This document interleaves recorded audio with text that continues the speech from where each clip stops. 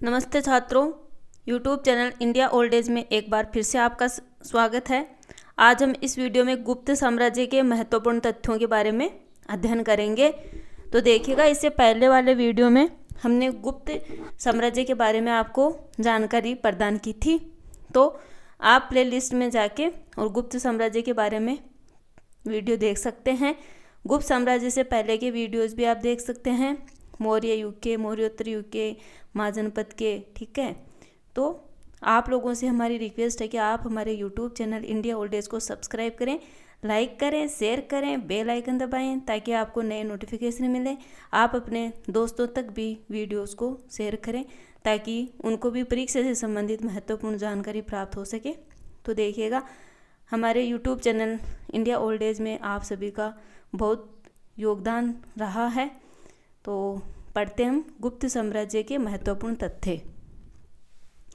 गुप्त साम्राज्य का संस्थापक श्रीगुप्त था। समुद्रगुप्त ने स्वयं को प्रयाग प्रशस्ति में श्रीगुप्त का परपोत्र कहा है। श्रीगुप्त के बाद घटोत्कच गुप्त शासक हुआ। इसकी उपाधि महाराज थी। गुप्त काल में केवल ब्राह्मणों को भूमि दान में दी जाती थी। गुप्तकालीन समाज में अंतर्राज्यीय विवाह प्रचलित थे। गुप्त काल में नृत्य एवं संगीत में निपुण तथा कामशास्त्र में पारंगत महिलाओं को गणिका कहते थे, ठीक है? गुप्त काल में हिंदू धर्म की अत्यधिक उन्नति हुई। इस काल में हिंदू धर्म की दो प्रमुख शाखाएँ प्रचलित थी, वैष्णव और शैव, ठीक है? गुप्त काल में त्रिमूर्ति के अंतर्गत ब्रह्मा, विष्णु एवं महेश की पूजा आरंभ हुई। इसमें ब्रह्मा को सर्जन, विष्णु को पालन तथा महेश को संहार का प्रतीक माना गया है। गुप्तकाल में कापालिक व कालामुख संप्रदाय अस्तित्व में आ चुके थे। गुप्तकाल में जैन धर्म को भी विशेष स्थान प्राप्त था। जैन धर्म की श्वेतांबर शाखा की दो सभाओं का आयोजन हुआ था। पहली सभा मथुरा में 313 ईस्वी में तथा दूसरी सभा चार सौ तिरपन ईस्वी में वल्लभी में बुलाई गई थी। और ये जैन धर्म की जो सभाएँ इन सब के बारे में हम पहले अच्छे से पढ़ चुके हैं, ठीक है? गुप्तकाल में भारत के पूर्वीय देशों को स्वर्ण भूमि कहा जाता था। ठीक है? तो गुप्तकाल में जो भारत के पूर्वीय देश हैं, उनको स्वर्ण भूमि कहा जाता था। इनके अच्छे व्यापारिक संबंध थे। इनसे भारत के जो पूर्वीय देश है, इनसे भारत के अच्छे व्यापारिक संबंध थे। गुप्तकाल में बंगाल, गुजरात तथा दक्षिण का कुछ भाग कपड़ा उद्योग के प्रमुख केंद्र थे। गुप्तकाल में पश्चिम में बड़ोच एवं पूर्व में ताम्रलिप्ति प्रमुख बंदरगाह थे। ये देखो एक गुप्तकाल के जो दो बंदरगाहें बहुत ही इम्पोर्टेंट हैं एग्ज़ाम की दृष्टि से और एग्ज़ाम में पूछे भी जाते हैं कई बार कि भड़ोच और ताम्रलिप्ति जो है, क्या हैं? या तो ऐसा क्वेश्चन आ जाता है या फिर ये किस काल के बंदरगाह ऐसे क्वेश्चन आ जाते हैं किन दिशाओं में, ठीक है? तो कैसे भी पूछ ले जाए हमें गलत नहीं करना है ओके गुप्तकाल में घोड़ों का अरब एवं ईरान से आयात किया जाता था। गुप्तकाल में निर्मित श्रेष्ठ सार्थवाह कुलिक निगम की दो सौ चौहत्तर मुहरें वैशाली से प्राप्त हुई हैं। गुप्तकाल में कदूर, परपाल, आंध्र प्रदेश के बंदरगाह थे। कदूर और परपाल हैं आंध्र प्रदेश के बंदरगाह थे। गुप्तकाल में कावेरी पतनम तोंदर, चोल प्रदेश के बंदरगाह थे। गुप्तकाल में कोकई, सलीलपुर पांड्य प्रदेश के बंदरगाह थे और गुप्तकाल में कोत्रेयम, मुजरिस, मालाबार के बंदरगाह थे। गुप्तकाल में सिंधु, ओरहोत, कल्याण मिबोर प्रमुख बंदरगाह थे, जिनसे व्यापार किया जाता था। तथा गुप्तकाल में सील भट्टारिका विदुषी महिलाएँ थी। गुप्तकाल में प्रसिद्ध गद्य लेखक सुबंधु था, जिसने स्वप्न वासव दत्ता की रचना की थी।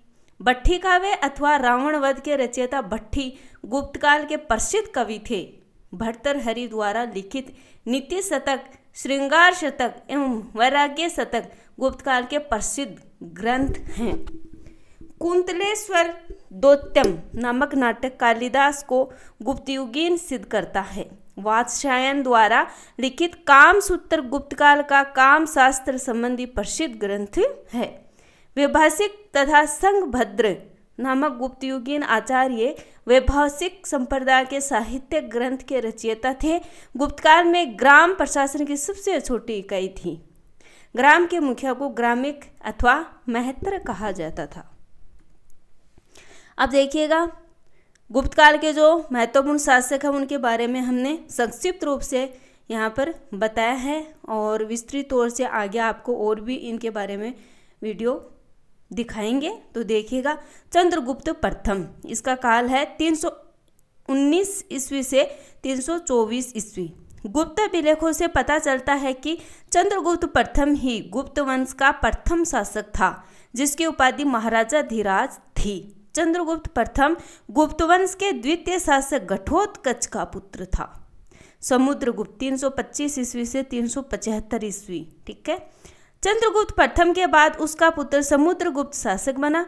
वह लिच्छवी राजकुमारी कुमार देवी से उत्पन्न हुआ था। समुद्रगुप्त पर प्रकाश डालने वाले अत्यंत प्रमाणिक स्रोत सामग्री प्रयाग प्रशस्ति के रूप में उपलब्ध है। ठीक है? राज सिंहासन पर आसीन होने के बाद समुद्रगुप्त ने दिग्विजय की योजना बनाई। प्रयाग प्रशस्ति के अनुसार इस योजना का ध्येय धरणी बंद अर्थात भूमंडल को बांधना था। समुद्रगुप्त गुप्त वंश का एक महान योद्धा तथा कुशल सेनापति था। इसी कारण उसे भारत का नेपोलियन कहा जाता है। तो भारत का नेपोलियन किसे कहा जाता है? समुद्रगुप्त को। सॉरी समुद्रगुप्त का साम्राज्य पूर्व में ब्रह्मपुत्र, दक्षिण में नर्मदा तथा उत्तर में कश्मीर की तलहटी तक विस्तृत था। प्रयाग प्रशस्ति से पता चलता है कि समुद्रगुप्त ने आठविक राज्यों के शासकों को अपना दास बना लिया था। ये आठविक राज्य उत्तर में गाजीपुर से लेकर जबलपुर तक फैले थे। दरबारी कवि हरिशेर ने उसकी सैनिक सफलताओं का विवरण इलाहाबाद प्रशस्ति में लिखा है। अगला शासक है चंद्रगुप्त द्वितीय विक्रमादित्य 380 से 412 ईस्वी। समुद्रगुप्त के बाद रामगुप्त नामक एक दुर्बल शासक के अस्तित्व की जानकारी गुप्त वंशावली में निहित है।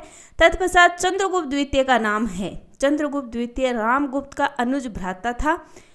चंद्रगुप्त द्वितीय के अभिलेखों व मुद्राओं से उसके अनेक नामों व विरुद्धों के विषय में पता चलता है। उसे देवश्री, विक्रम, विक्रमादित्य, अप्रतिरथ, सिंह विक्रम सिंहचंद्र परम भागवत, अजित विक्रम, विक्रमांग आदि विरुद्धों से अलंकृत कहा गया है। ठीक है?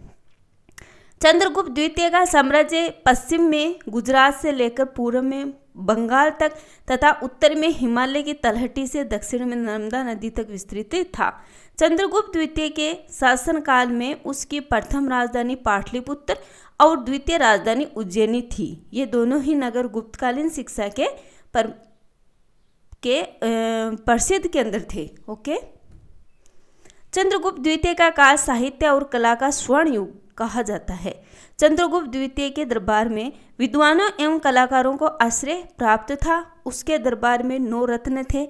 इनमें कालिदास, धनवंतरी, अक्षपणक अमर सिंह शंकु, बेताल भट्ट, घट, घटक कर पर वराह मिहिर और वररुचि उल्लेखनीय थे। चंद्रगुप्त द्वितीय के शासनकाल में चीनी यात्री फयान जो तीन सौ निन्यानवे से चार सौ बारह बारह ईस्वी में भारत यात्रा पर आया तथा उसने भारत पर वृत्तांत लिखा था, ठीक है ना? तो ये बहुत ही इम्पोर्टेंट टॉपिक है, आप लोगों के लिए अच्छे से वीडियो को देखिएगा। कुमारगुप्त प्रथम, चंद्रगुप्त द्वितीय, विक्रमादित्य के बाद उसका पुत्र कुमारगुप्त प्रथम, गुप्त साम्राज्य का शासक बना। कुमारगुप्त की माता का नाम ध्रुव देवी था गुप्त शासकों में सर्वाधिक अभिलेख कुमार गुप्त के ही प्राप्त हुए हैं। तो गुप्त शासकों में सबसे ज़्यादा अभिलेख कौन से शासक है? कुमारगुप्त प्रथम के प्राप्त हुए कुमारगुप्त प्रथम के अभिलेखों व मुद्राओं से पता चलता है कि उसने अनेक उपाधियाँ धारण की थी। उसने महेंद्र कुमार, श्री महेंद्र श्री महेंद्र सिंह, महेंद्र कर्म, अजित महेंद्र और गुप्त कुल और गुप्त कुल, व्योम आदि उपाधियाँ धारण की थी। उसकी सर्व प्रमुख उपाधि महेंद्रादित्य थी। कुमारगुप्त प्रथम स्वयं वैष्णव धर्मानुयायी था, किंतु उसने धर्म सहिष्णुता की नीति का पालन किया था। कुमारगुप्त प्रथम ने अधिकाधिक संख्या में मयूर आकृति की रजत मुद्राएँ प्रचलित की थी, प्रचलित की थी। कुमारगुप्त प्रथम के शासनकाल में विश्व विश्वविद्यालय की स्थापना की गई थी, ठीक है? अगला शासक आता है स्कंद गुप्त जो चार सौ पचपन ईस्वी से चार सौ सड़सठ ईस्वी पुष्यमित्र के आक्रमण के दौरान गुप्त शासक कुमार गुप्त प्रथम की मृत्यु के बाद उसका प्रतापी पुत्र स्कंदगुप्त सिंहासनारूढ़ हुआ। स्कंदगुप्त गुप्त वंश का अंतिम प्रतापी शासक था। स्कंदगुप्त ने देवराज, विक्रमादित्य, कर्मादित्य आदि उपाधियाँ धारण की थी। विभिन्न उपाधियों के कारण ही आर्य मंजूश्री मूल कल्प से उसे विविधाख्य, अर्थात अनेक नामों वाला नरेश कहा गया है। स्कंदगुप्त ने मौर्यों द्वारा निर्मित सुदर्शन झील को जीर्णोद्धार करवाया था। स्कंदगुप्त वैष्णव धर्मावलंबी था, किंतु उसने धर्म सहिष्णुता की नीति का पालन किया। स्कंदगुप्त की मृत्यु चार सौ सड़सठ ईस्वी में हुई थी। तो देखिएगा, इस वीडियो में हमने गुप्त साम्राज्य से संबंधित जो भी महत्वपूर्ण तथ्य हैं, उनके बारे में जानकारी प्राप्त की। आगे हम इन्हीं शासकों के बारे में आपको विस्तृत तौर से पढ़ाएँगे। तो बने रहें YouTube channel India old age पे।